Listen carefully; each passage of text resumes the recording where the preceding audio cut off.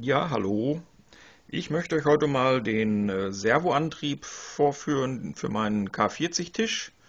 Ich habe hier einen Servotester und ein umgebautes Servo mit einem großen äh, GT2-Pulli. Ich habe jetzt also doch keine Kugelkette genommen, sondern einen GT2-Riemen, eine Umlenkrolle und das Ganze ist hier in der Achse zum Spannen gedacht. Ähm, ich habe den jetzt mal ziemlich weit runtergefahren und möchte ihn jetzt einfach mal hochfahren, um euch zu zeigen, wie das dann sich anhört und wie schnell das geht.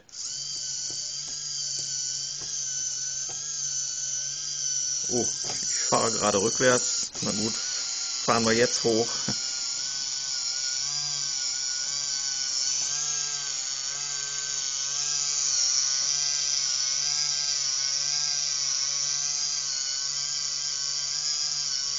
Also das Gewicht spielt keine Rolle der Servo, der packt noch viel mehr. Ich habe nur Angst um mein, äh, ich habe hier so ein kleines 5 Volt Netzteil bloß, der schafft nicht so ganz viel.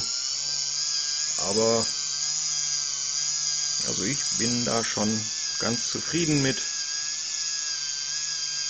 Und hier ist der Umbau, das ist ein externes Proti, das wird dann hier noch so hochkant an die Seite gebaut. Und die Höhe, die regelt im Prinzip, also die Höhe hier von dem Pin, wird dann nachher mitgeführt und die regelt nachher letztendlich ähm, ja, die Richtung, in der der Motor läuft.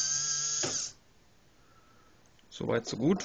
Das Ganze kommt dann nochmal, wenn es eingebaut ist, in einem richtigen Video.